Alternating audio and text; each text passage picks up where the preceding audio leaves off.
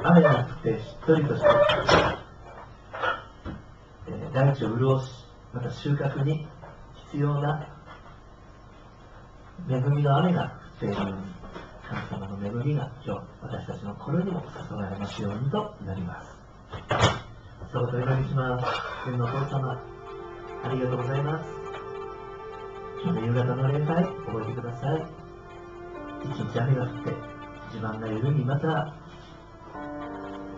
足元が滑りやすいです。神様、どうぞ、来られる方々、生き返りの境地をお守りください。こちらに向かっている方々がいましたら、神様、あなたが、その足元をお守りくださいますように、お願いいたします。新しい一週間をお守りください。神様の祝福がこの礼拝を通して豊かに与えられますように、イエス・キリストの皆で感謝してお祈りいたします。アメン。カンパニーと踊りで、これが、え数千年前、聖書で教えている神への礼拝のものです。本日もそんな思いで主を伝えていきたいと思います。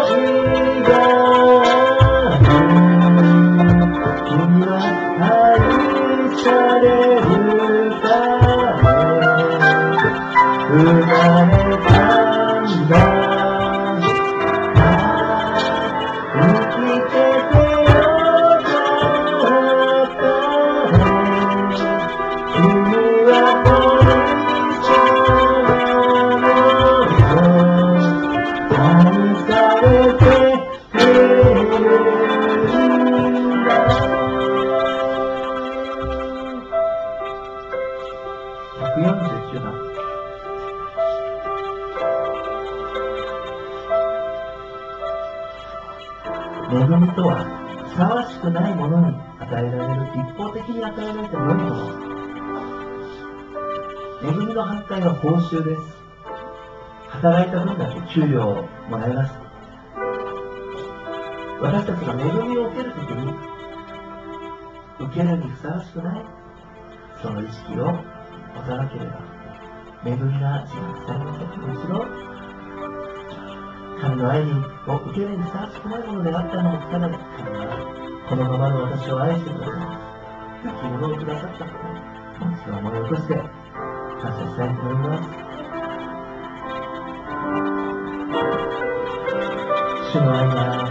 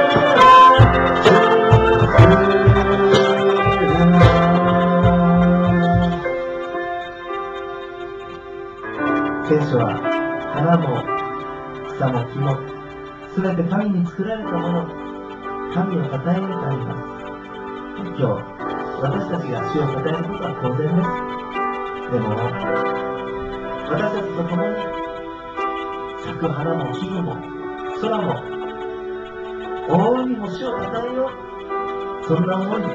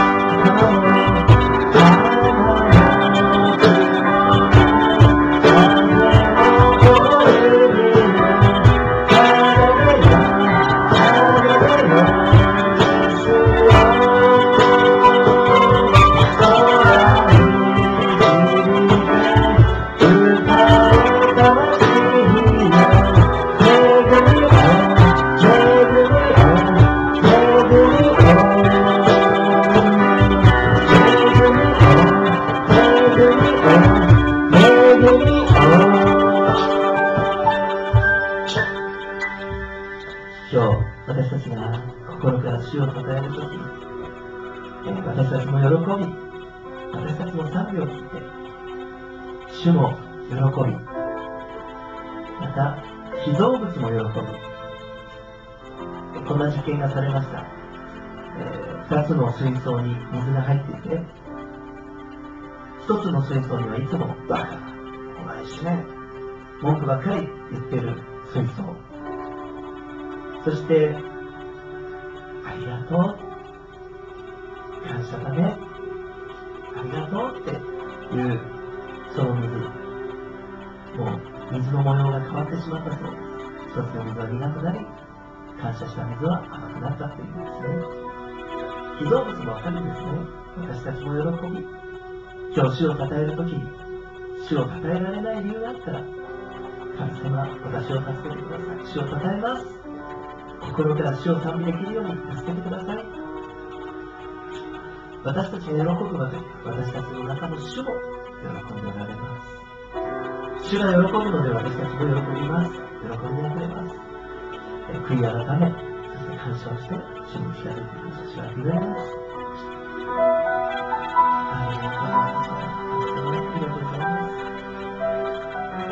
私たち、心の傷があったり、また、疲れたり、心配、不安、恐れない、もう一度、私たちは、主に作られて、主に愛されている人です。主を抱えて、主を心から賛美す。ることができます。よ。神様、今日はこの礼拝の中であなたを迎えます。雨よ、主をたえよ、大空よ、空気よ、この被造物す。べて主をたえよ。そして我が魂を主を褒めたたえ。主が良くしてくださったことを何一つ忘れない。主は良いことをしてくれたではないか。我が魂も、そして全ての傷を主を与えることができるように感謝をされます。賛美いたします。愛する主イエスキリストの皆でお祈りいたします。アメン。皆さんどうぞご起立ください。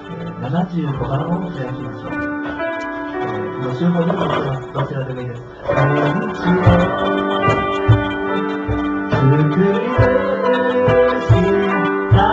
Good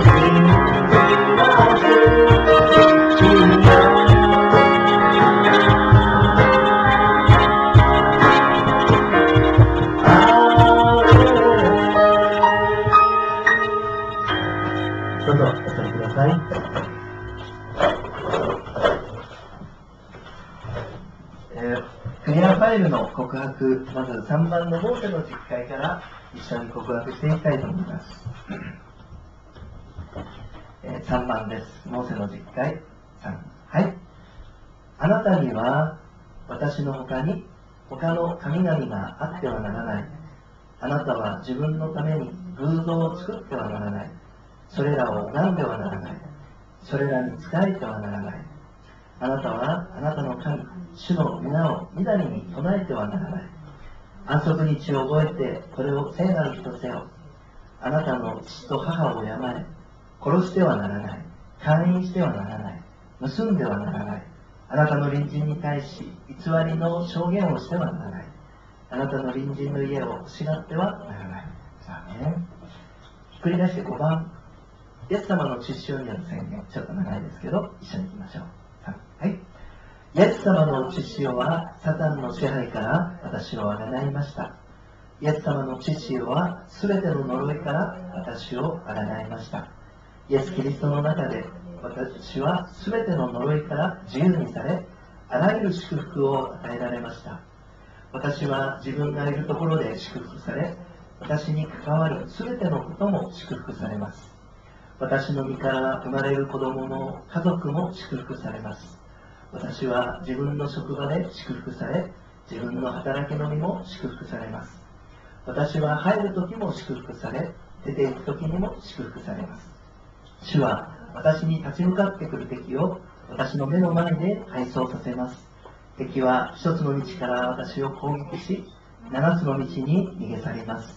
主は私の穀物蔵と私のすべての手の技を祝福してくださり、私に与えようとしておられる地で私を祝福されます。主は私をご自身の聖なる民として立たせてくださいます。私が神の民として選ばれたこと、また私に主の名が付けられているのを見て、地上にいるすべての民が私を恐れます。主は恵みの蔵、天を開き、時にかなって雨を降らせ、私の手の技を祝福されます。私は多くの国々に貸すことがあっても借りることはありません。主は私を頭とならせ、音は鳴らせない。ただ上におらせ、下へは下されません。イエス様の知識は私のために永遠の契約を成し遂げてくださいました。イエス様の知識は私を父なる神、すべての人々、すべての被造物と和解させ、平安をくださいました。イエス様の知識は私のすべての罪を許してくださいました。イエス様の知識はすべての罪から私を清めます。イエス様の知識は罪に定めるすべてのことから私を弁護し、私に敵対するサタンの訴えを無効化し、今まで一度も罪を犯さなかったかのように私を義と認められます。イエス様の知識は主のものとするために私を清め、主に献身する者として私を成立します。イエス様の知識は死んだ行いから私の良心を清め、生ける神に仕えることができるようにされました。イエス様の知識は聖なる神に仕えるために私を誠の聖女に生やせます。イエス様の知識は私がサタンとその全ての力に打ち勝つようにさせます。イエス様の知識は私の永遠に続く喜びの源です。アメンイエス様が十字架で流されたその血潮、イエス様の死に力がある。そのことを覚えて、礼拝を進めていきたいと思います。一言祈ります。天のお父様、ありがとうございます。私には、イエス様の流された血潮があり、十字架の死があります。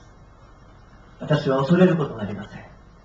すべてのものに勝利し、また、すべてのマイナスを消し去り、祝福に変えてくださいます。どのような過去があっても、今どのような人生を歩んでいても、あなたは許し、そしてそれを癒し、解放し、祝福してくださいます。神様、どうぞもう一度あなたの力ある御言葉を通して、私たちが慰められ、強められ、また、御霊に満たされていくことができるように、神様どうぞ、今日のこの礼拝のひとときを祝福してください。お願いいたします。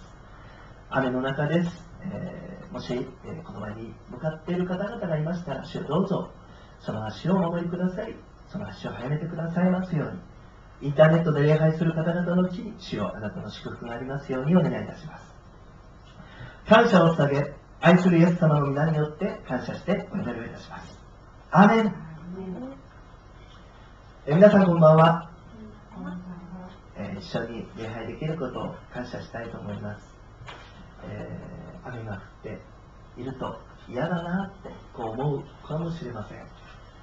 えーそりゃあ、カラッと晴れてる方がね、気持ちいいに決まってます。でも、この雨っていうのはとても大切です。空気を洗い、雨がしばらく降らないとですね、空気がカサカサしてきてですね、えー砂が混じるんですね。でも、雨が降ることでそれを洗い流してくれる。まあ、最初はですね、白い服が茶色になっちゃうぐらいの時もあるんですね。空気を洗いきれいにし、また、えーこの雨が大地を潤してくれる。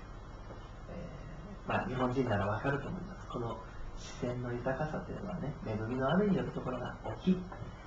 神様は今日私たちの心にも恵みの雨のように精霊と御言葉を注いでくださることを信じます。神様は牧者のような方だっていうんですね。えー羊はどういう環境にいても牧者についていけば大丈夫だ。詩篇23編のあの主は我が牧者なり、私は乏しいことがない。主は私を緑の牧場にさせ、憩いの右側に伴われる。えー絵を見るとですね、なんかこう牧場みたいなね、ふさふさしたところをイメージするかもしれません。しかしですね、イスラエルの荒野は草一つない。えーしばらくして草は食べ終わってしまう。水も枯れてしまう。困った。植えるんです。脳が乾くんですね。でも、この羊飼いについていけば、ちゃんと安全な場所に緑の草があり、また水のあるところに連れてってもらえる。皆さん人生同じです。私たちの人生辛いことがある。悲しいことがある。でもこのお方から目を離さないで、このお方についていくならば、今の苦しみはしばらくであって、ついていったら、やがて緑の牧場水のほとりに連れて行かれるように、神様は問題を解決し、祝福してくださいます。皆さんどうぞ今日の御言葉を通して、もう一度神様を思い起こして、このお方についていくように、イエス様の皆で祝福します。アメン。えー一昨日はですね、えー私誕生日で、たくさんの人に祝っていただいてですね、いろんなものをもらったり、えー本当に恐縮してしまうというかね、申し訳ない、えーそんな気持ちでした。まあ、ね、やってもらわなくていいですよっていうね、でも一方で、本当にこの、えー祝っていただくっていうのはね、こんなに嬉しいものかっていうことをね、昨日、えー感じましたね。まあ今日もですけど。えーまあ、それはですね、え無条件で存在が肯定される。そこにいていいよ。いや、いてくれてありがとう。そういうですね、存在が受け入れられている。存在が喜ばれて。えー生まれてきたことを喜んでもらって。えーそんな感じがしました。これはですね、誕生日だけじゃなくて、ね、お互いにいつもそれを伝えていかなきゃいけないな。まあ私はそう思ってます。目の前にいる皆さんがね、そこにいるだけで、本当にありがとう。そして嬉しい。いてくれてありがとう。そしてそこにいてくれるからね、祝福されている。そういうふうに感じます。それが愛し合うことではないかなと思うんですね。形だから、聖書が言ってるから愛しますみたいなね、なんか形式的な愛っていうのは怖いですよね。なんか歯を食いしばってですね、許せないって思いながらね、皆さん、許し、そこにいてくれてありがとうって、そんな思いから、えー愛って始まるんじゃないかなと思いますね。そんな思いで、私たちお互い使い合い、愛を学んでいきたいと思います。主を愛する人は、アメンと言ってください。アメン。何より主がいてくださることを喜びます。主を喜ぶことが力です。今日も一緒に聖書を学んでいきたいと思います。使徒の働き20の32、そしてマタイ4の4、この今日は2箇所になります。まず使徒の働き20の32から一緒に読んでいきたいと思います。はい。今、私はあなた方を神とその恵みの御言葉のに委ねます。御言葉はあなた方を育成し、すべての聖なるものとされた人々の中にあって、御国を継がせることができるのです。もう一箇所、また4の4です。はい。イエスは答えて言われた。人はパンだけで生きるのではなく、神の口から出る一つ一つの言葉によると書いてある。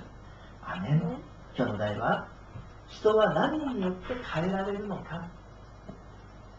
まあ、何によって変えられるか。まあ、それが今日の、えー、説教になりますけれど、えー、まあ、鍛錬して勉強していい大学に入り、また、えー、修行して、え出家して、えあるいはですね、いろんな訓練を受ける。いろんな厳しいトレーニングを受ける。まあ、スキルアップしたりですね、え形は整うかもしれない。でも、本当の意味でその人の深いところ、人格が変えられる。それは何だろうか？今日、聖書が教えてくれます。それは神の口から出る一つ一つの言葉だっていうんですね。皆さん、この聖書の言葉、神の口から出た言葉が私を変えてくれる。この言葉は真理だって言うんですね。真理だ。皆さん、この真理が全てを創造したんです。人間は言葉ではありません。手作りでした。でも、人間以外はみんなね、神の言葉によって光よ、天よ、大空よ、動物よ。皆さん、すごいですよね。この神様の言葉によってね、全てが作られた。いやー、素晴らしいです。この真理が私の中に入ってくる。まあ、つまりですね、入れ替えられる。私たちの中には移りゆく偽りが入っている。それを追い出して、その真理に入れ替えていく。再インストールする。皆さん、これがですね、成長なんですね。まあ、自己実現と神実現の違い。まあ、自己実現って聞いたことありますよね。成功するんだ。ね、お金持ちになる。大きな教会を建てよう。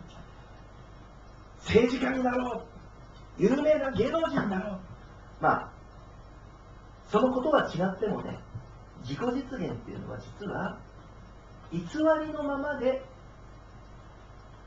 その延長で自分の理想を求めることなんですね。まあ、例えばですね、ボタンの掛け違いです。掛け違えたら全部外して、もう一回やり直せばいいんだけど、でも、なんとか。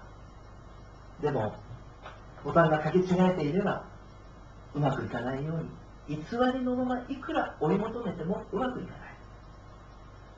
だからこれが自己実現なんです。宗教哲学。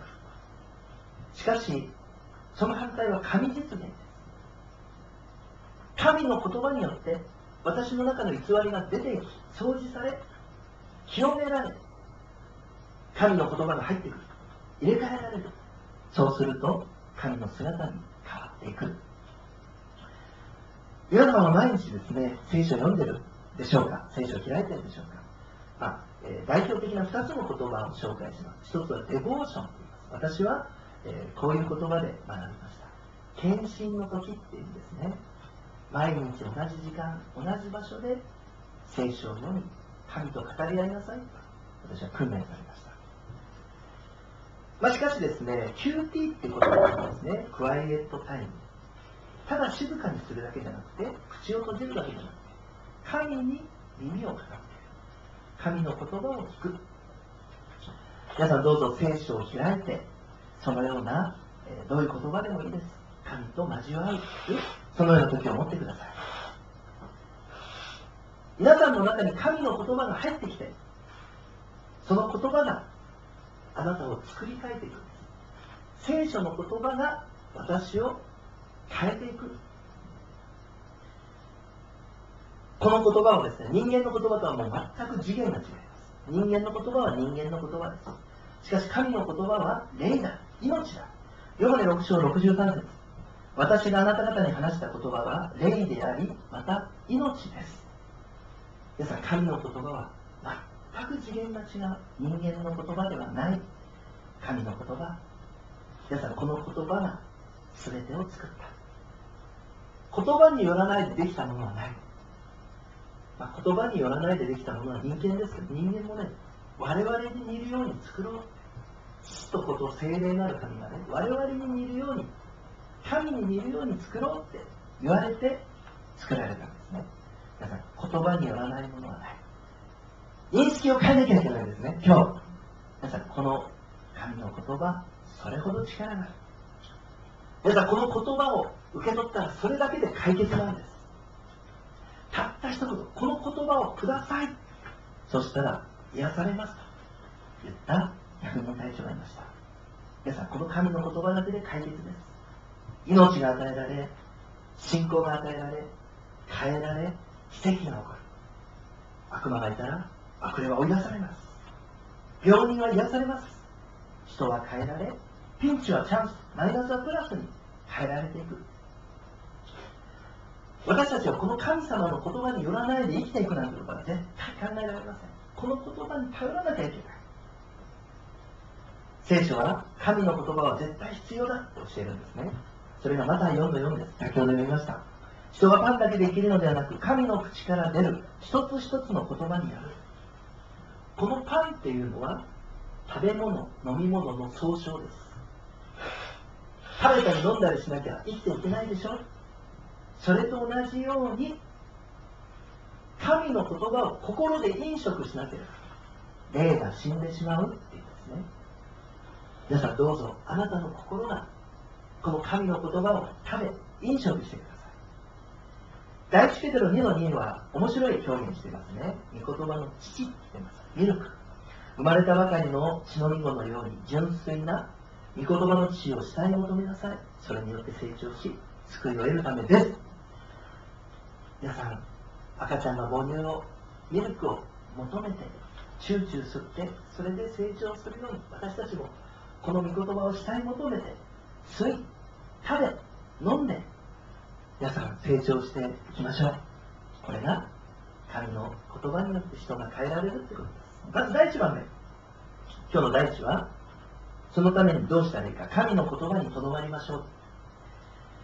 まあ、皆さんご存知だと思います。15世紀にドイツのヨハネス・グーテンベルクによってですね、活版印刷が、えー、行われるようになりました。つまり、世界で初めて聖書が印刷されるようになったんです。皆さん、ただ印刷工場ができただけじゃん。そうじゃない。今まで聖書は手書きでした。貴重でね、もう、例えばカトリックであれば、もう神父さんみたいな聖職者しか聖書は持てなかった。今はこんなにたくさんあるんです。もうあそこにですね、50冊ぐらい聖書を積み上げてます。でも、聖書を読まない人がいたとしたら、皆さん何の意味もありません。そこにあっても読まなければ意味がない。まあ、今、えー、ダイエットをしたい、痩せたい。まあ、そのダイエットをしすぎてね、拒食症になっちゃう、えー、人がいますね。これも深刻なんです。過食症も困るんですけどね、拒食症も困る。今、多くのクリスチャンがね、神の言葉の拒食症になっています。食欲が出ない。神の言葉を食べたい。乾いて欲しい。これがなければ死んでしまう。私の心が乾いてしょうがない。本当はね、そういう心の状態にならなきゃいけないのにね、今、拒食症になって、そして、霊的に死にそうな状態になっている。皆さんどうぞ神の言葉を食べて、食べて、食べていかなくてはいけません。イエス様はね、この言葉にとどまりなさいって言うとどまる。とどまる。そうしたら弟子になる。皆さん、あなたはイエス様の弟子ですか？弟子というのは自分を変え、どこまでもイエス様についていく人です。ヨガの8章31節もしあなた方が私の言葉にとどまるなら、あなた方は本当に私の弟子です。とどまりなさい。じゃあ、とどまるとは何か。まず一つ目、神の言葉の権威を受け入れるっていうことです。権威を受け入れるってことは、神の言葉こそが基準だっていうのです。基準。まあ、人はですね、人生、活躍して社会で生きてる人は、自分の知識とか経験とかね、社会の常識、これがですね、基準になっている場合がありますね。まあ、それは社会では通用します。でも、皆さんがそれを基準にしてたら問題が起こるんです争いが必ず起こります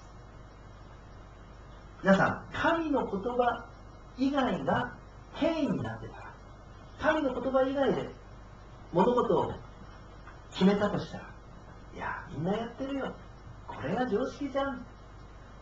皆さんそうやって生きないよ数字道が立っていてね。ああなるほど。世の中が言ってる方が正しい。テレビで言ってることが正しい。あの政治家が言ってたことは納得だ。たとえ正しく感じても皆さん正しく感じてもみんな堕落してるんです。罪の上に壊れてる。だから正確じゃないんです。正しく見えても壊れてるから正確じゃない。皆さん聖書だけが絶対に変わらない基準です。皆さんこれを受け入れてください。皆さんが物事を決める基準は聖書です。この聖書がいいということが良い。聖書が悪いということが悪い。信玄30の5神の言葉は全て純粋。神はより頼む者の盾。神の言葉に付け足してはならない。皆さんこれをやってる人が結構いるんですね。まああまり、えー、はっきりは言いたくないんですけど結構世界でですねもう巨大な人がいっぱい集まるような教会メガチャーチと言います、えー、そこの先生たちの中に、えー、神の言葉にね成功哲学をこう混ぜ込んでイエス様信じたら成功します。イエス様信じたら金持ちになります。なんかいい感じですよねでも聖書は何て言ってるか付け足してはならない聖書だけが権だもちろん私たちはですね、そういう哲学いいと思います。でも、聖書に混ぜてはいけない。聖書がいいということをよしとする。第2手モて3の16。聖書はすべて神の霊感によるもので、教えと戒めと強制と義の訓練のために有益です。皆さん、育てるんです、皆さん。でもかつてですね、まあ、私は高校を卒業してすぐに、えー、進学校に入りました。そしてまあ新学生時代ね、ああ、こんな聖書のね、えー、言葉流行らないな。えー、多分、え、世の中の人は信じてくれない。じゃあ、優しい言葉を語ろう。いいことだけを言おう。まあ、かつて私はですね、そうやって、えー、説教し、また、えー、新宿で路傍伝道もしてた。まあ、それは二十歳ぐらいの頃ですね。しかし、ある時、神様から教えられました。本当にそれは間違いだこの聖書に力があるこの聖書が唯一の権威だ私はそれが分かった時に悔い改めました皆さんはどうですか？最終的な権威をどこに置いているか自分の考えなのか聖書の言葉なのか皆さんの感情はどう思うと？この日本の国の文化が何と言おうと常識が何と言おうと？皆さん、権威は聖書です。まあ、人に相談することはありますね。どうしたらいいでしょうか？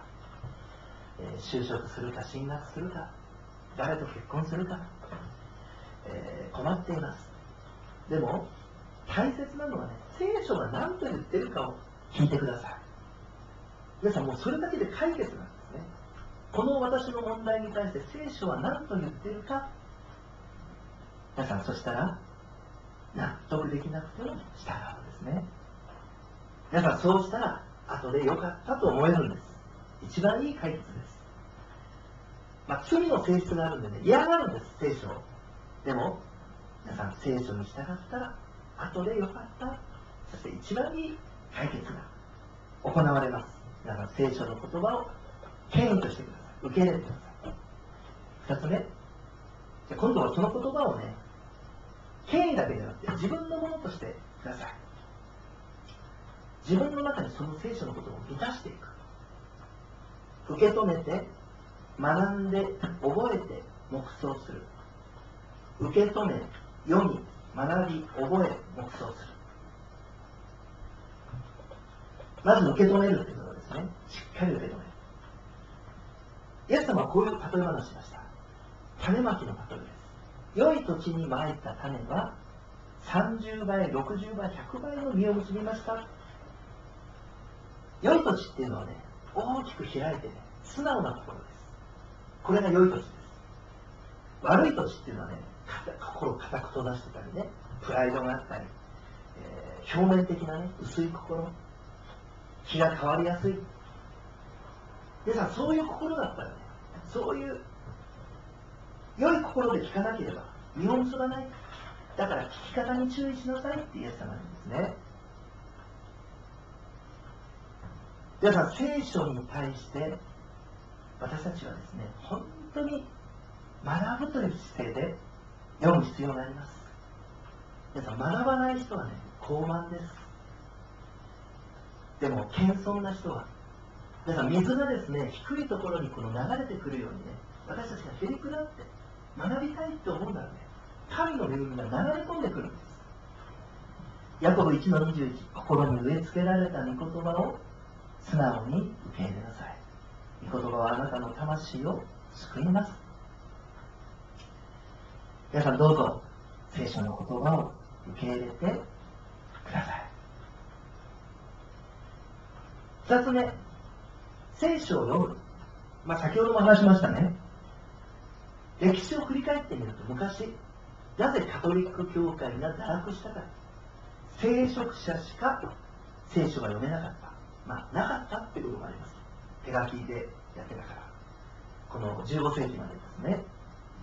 だから、何を言っても、変なこと言っても分かんないんです、信徒は。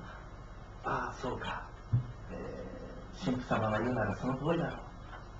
まあ、それでね、大きくずれてしまった時期がありますね。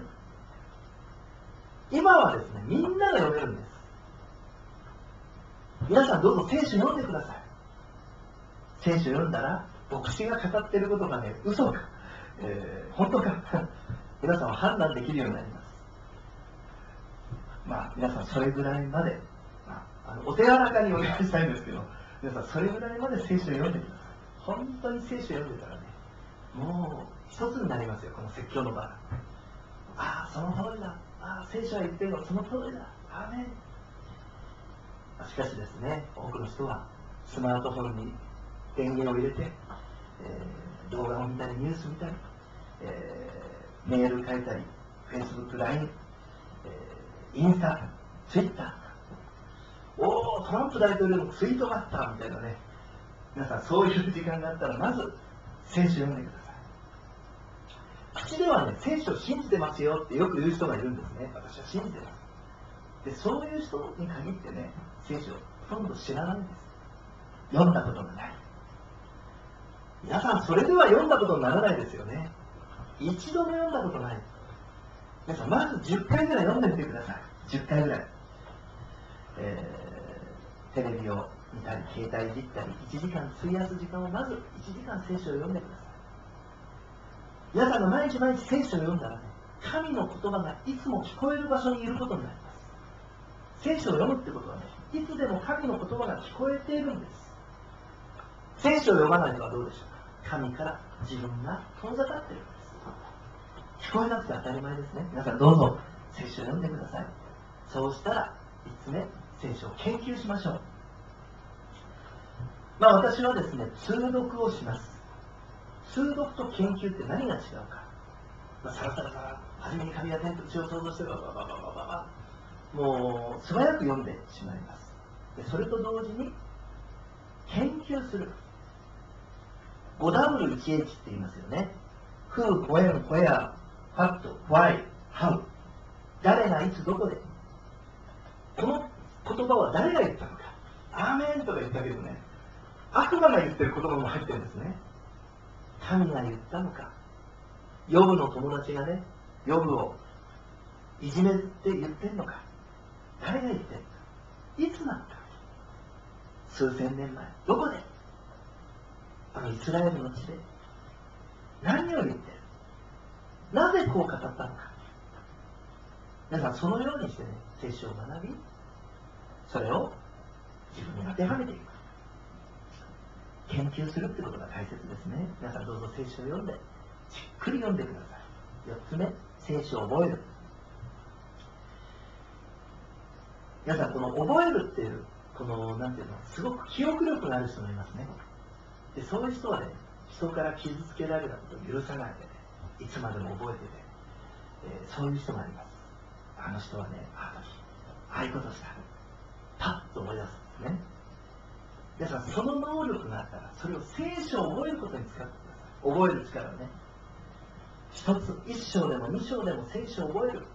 その記憶力をね、聖書を繰り返して読んで、聖書を覚えることに使ってください。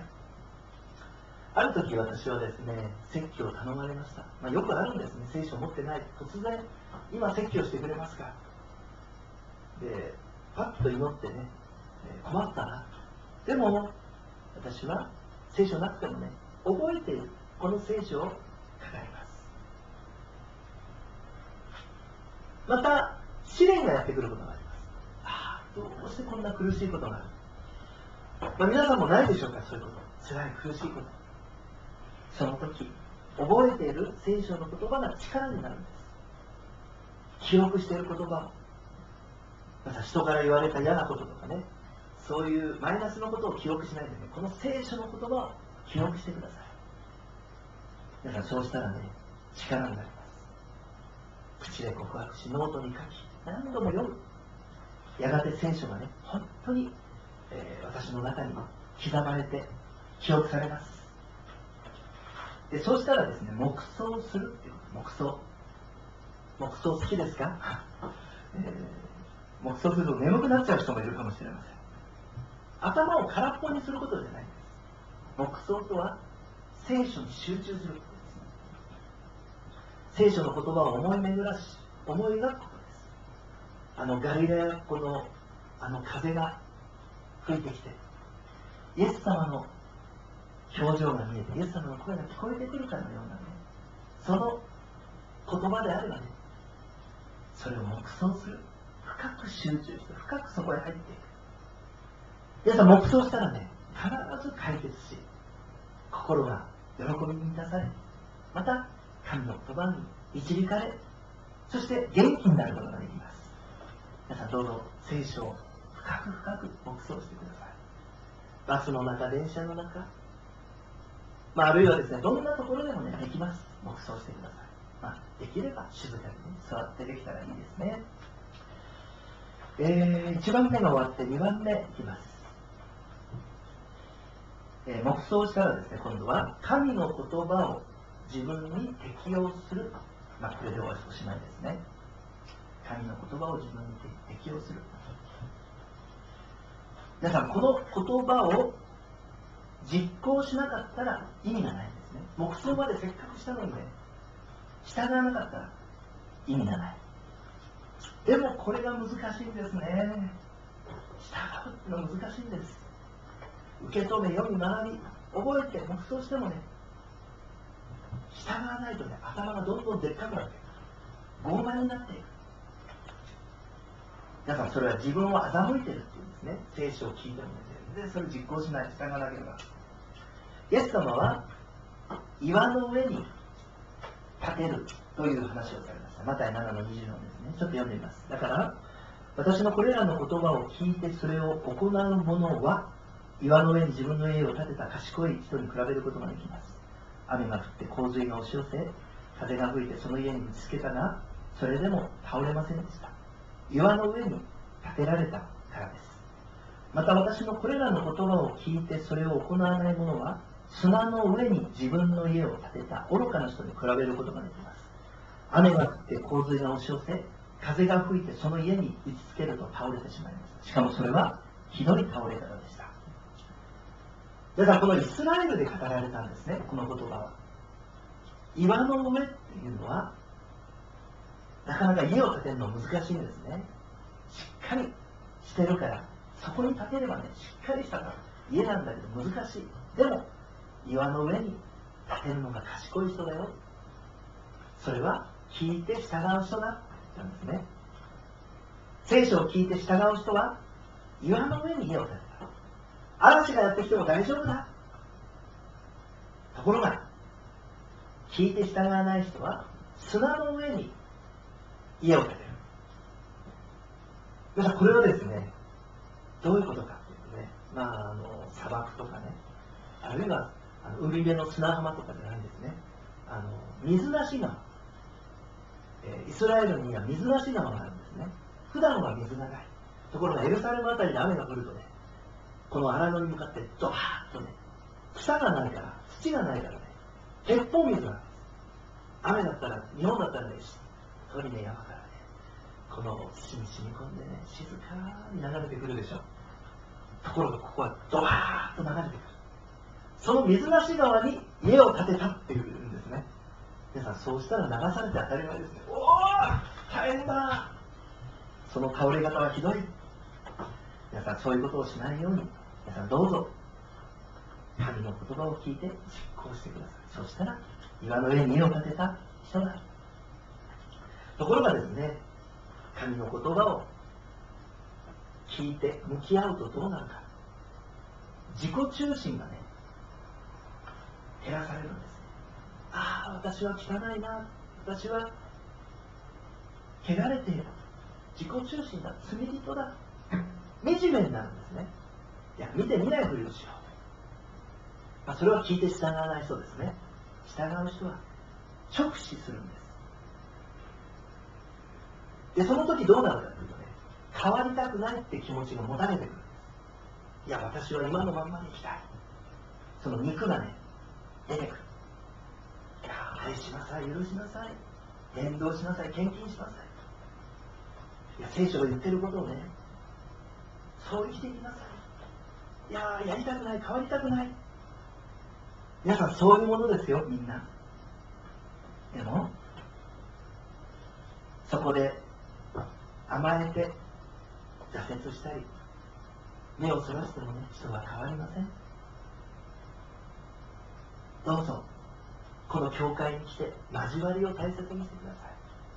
自分の弱さを分かち合ってね、今こういう問題で苦しんでます。祈ってもらいたい。自分が言いにくいことを話して、お互いに受け止め合って、祈り合って、そして成長していくんです。皆さん、だから教会が必要なんです。ただ集まってね、みんなでこう、講演、話を聞いて歌を歌う娯楽じゃないんです。教会とはそのように交わりをし、まあ、だからね、交わりの時に、大体私たちは食べ物の話したりね、えー世間話します。でも、そこから始まって、もっと深く入っていきましょう。もったいないです。世間話で終わったら。お互いの弱さをね、励まし合い、成長していけるように、私たちはこの教会の交わりを大切にしましょう。皆さん、それが教会の目的ですよ。私たちがお互いに支え合う。お互いに面倒を見合う。お互いに関わり合う。そして、皆さん、それはですね、使える、その一つの教会を大切にしなければ、そんな交わりは、ね、生まれてこないんです。今、東京にある多くの人たちが、教会から教会、政界巡り、セミナー巡りをして、それでつまみ食いするんですね。美味しいところでもらってね。そして交わりしない。ありがとう。さよなら。皆さん、それは自己満足、成長できないで終わってしまいます。教会の中で交わりをして、そこで犠牲を払う。そして、使い合う。皆さん、これがですね、教会こそが神の言葉を適用する場です。人が変わるために必要なんです。一人じゃ絶対に信仰生活できません。インターネットでね、ぐるぐるぐるぐる回っててもできません。皆さんどうぞ、教会の中でそのような交わりをね、少数だからできるという交わりもあります。まあ、しかしですね、この教会が、えーやがて、えーもう本当に入りきれないほどの人が集まってくるような時代が来ると思います。まあ、そこにいる一人一人、目の前の一人一人を大切に、えーどんな時にも大切にしていかなきゃいけませんけど、えー互いにね、この聖書の言葉をただいて成長していきたいと思います。皆さんどうぞ辛いことがあっても逃げたり、辛いことがあってもね、成長するチャンスを逃さないで、どうぞそれをしっかりと受け止めて、変わりたくないという自分自分もしっかり受け止めそれを祈ってほしい。助け合ってそして天国まで行く。助け合ってイエス様の姿に変えられていきましょう、えーお祈りをしたいと思います。今日ちょっと長くなりました。皆さん、えー今日この神の言葉によって私が変えられます。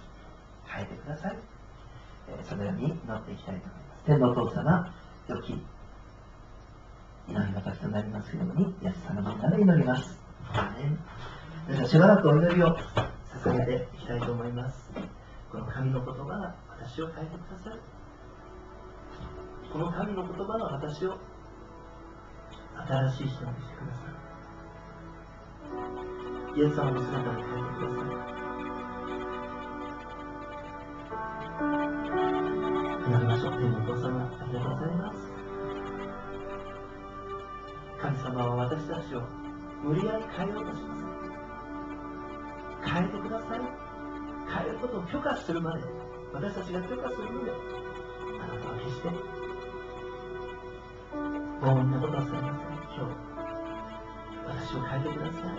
私を変えていて、私を作り変えてください。あなたの見姿に、神が願う生き方をしていきますように。神様私の中から偽りを追い出してください。神の真理の言葉が私の中を満たすように助けてください。お願いいたします。弱い私たちです。神を愛します。弱い私たちを救うためにイエス様が来られました。イエス様が十字架にかかって死んだ墓に葬られ、蘇ってくださいました。今日、この神の言葉を私の言葉として受け止め、この言葉に身を委ねます。精霊に身を委ねます。主の新しい習慣のこの言葉とともに、神の言葉を持ち通し、従い、実行し、この言葉を大切にし、いつもように記憶し、黙想し、実行し、生きていくとができる神様、それは祈りながらじゃなければいけません。またお互いに励まし合わなくてはいけません。神様どうぞ、教会の交わりを祝福し、私たちの一週間の信仰生活を助けてください。いろんな試練があっても、いろんな問題があっても、神様は私たちが、あなたに頼って、祈って、祈り合って、この一週間を祝福に変えさせてくださいますようお願いいたします。天のお父様ありがとうございます。イエス様をお願いします。主様、この国を変えてください。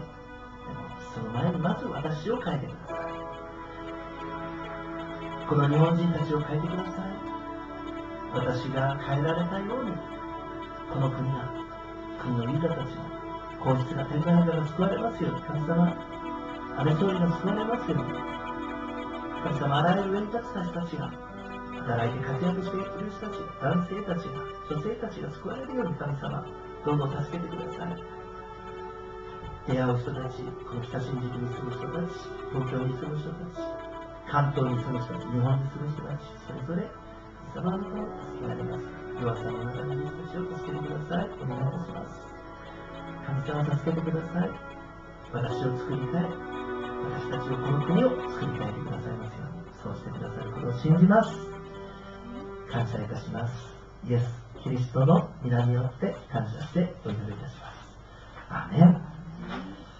えー皆さん、えー祈りを続けながら、えー献金を捧げていきましょう。えー捧げ物を、えーこの献金箱に捧げるときに、えーそれは神に従うことです。礼拝です。えー主と共に歩む、この賛美をもう一度捧げて、皆さん、もしよかったら準備ができたら立ち上がって賛美しましょう。主と共に歩む、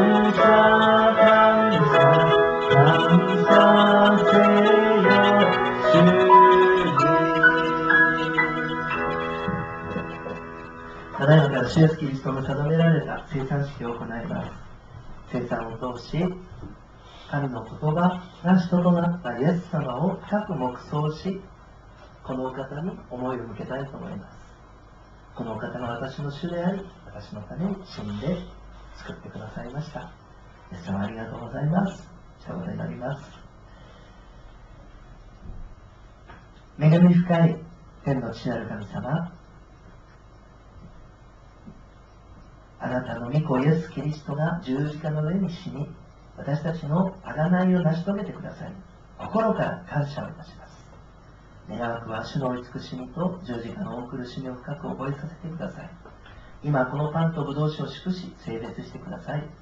見舞いに砕かれた心を持って主の肉と血とを受けることにより、救いの恵みが確かであることを覚え、私たちがキリストにあって一つであり、互いに主にある家族であることを覚えて、この交わりをいよいよ尽くし、共に福音の証に生きるものとさせてください。主キリストイエスの皆によって感謝してお祈りをいたします。アメン。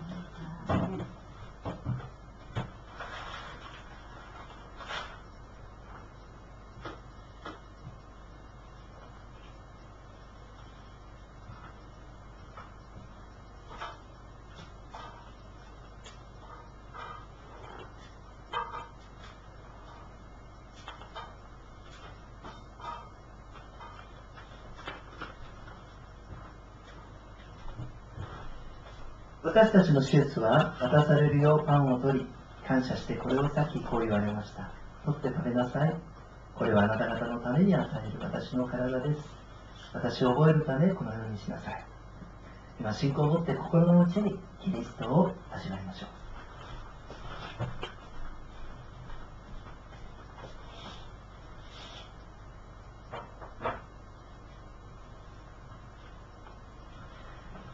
私の手術は同じように杯を取り、感謝を捧げて後言われました。この杯から飲みなさい。この杯は私の血による新しい契約です。これを飲むたびに私を覚えなさい。これを飲むたびに私を覚えなさい。信仰を持って心の内にキリストを味わいましょう。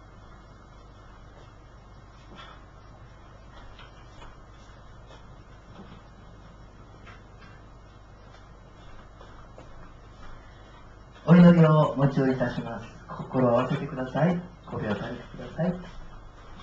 恵み深い天の父なる神様、あなたの限りない憐れみによって、私たちを招き、主の生産に預からせてくださり、感謝をいたします。これによって主イエスキリストの恵みと永遠の命の望みを、私たちのうちに確かにしてくださいましたことを感謝いたします。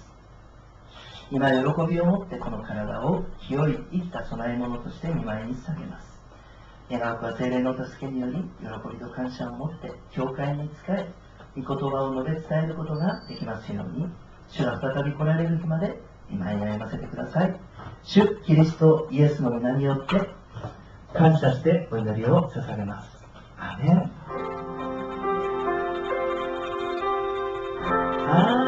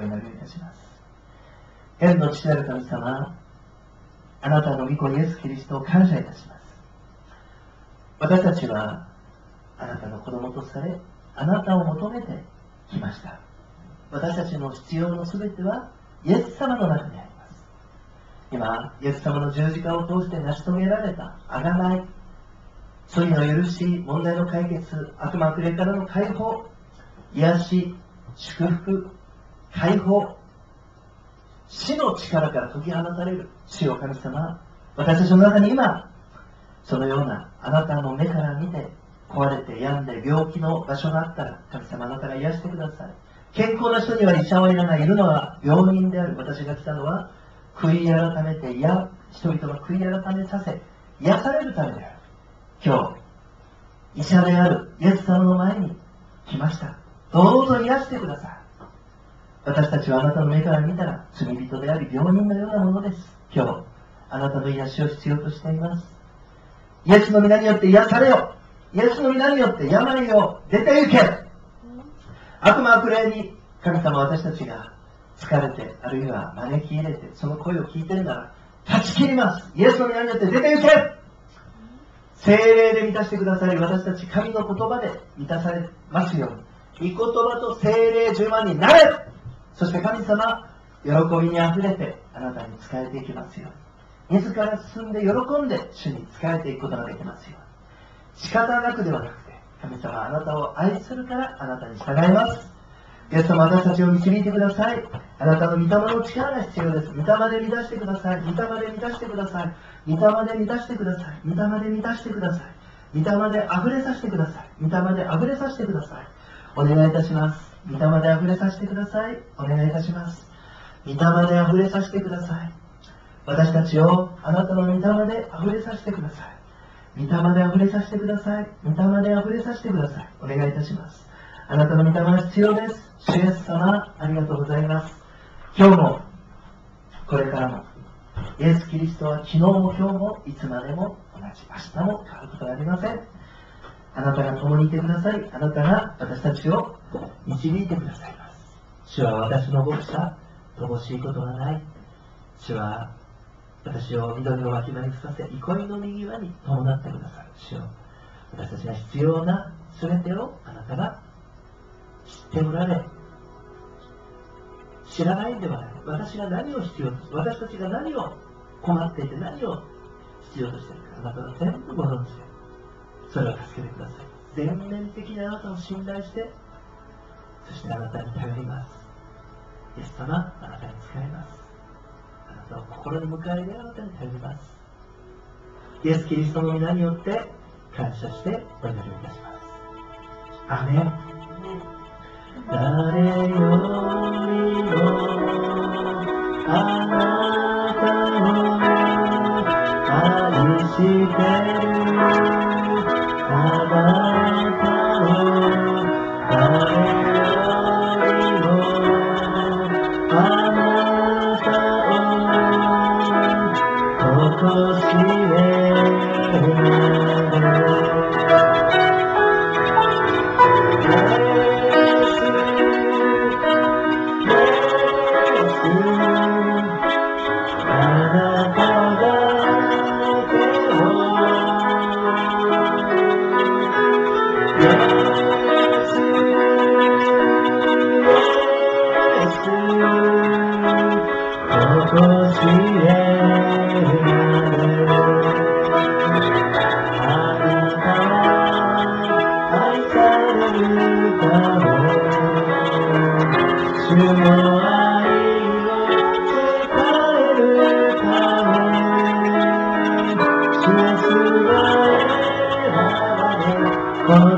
地に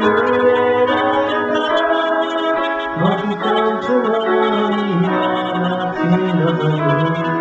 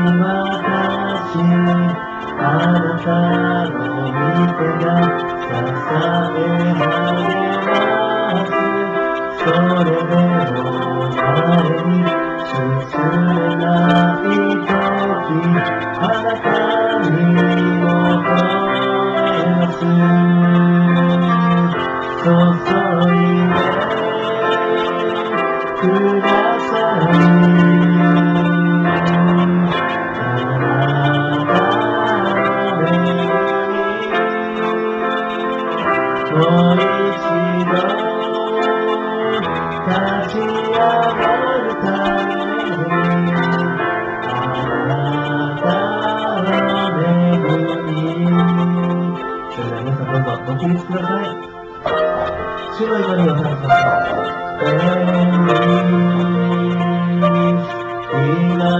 う。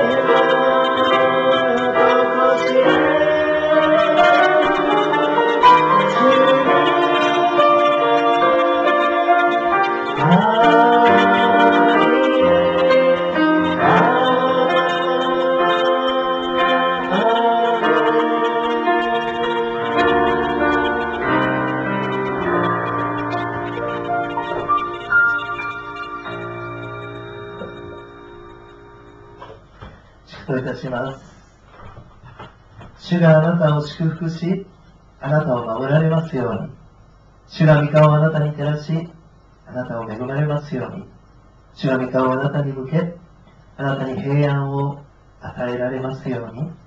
あげ願うは、我らの救い主、主イエスキリストの恵み、父なる神の愛、精霊の親しき御交わりが、集いましたお一人お一人と共に、そのご家族、親族一同の上に、インターネットで礼拝をされた方々と共に、今も後も、よよ限りなくあらんこと。アーメン。アーメン。神様に感謝の拍手を持って栄光を返しましょう。アレルヤー。アーメン。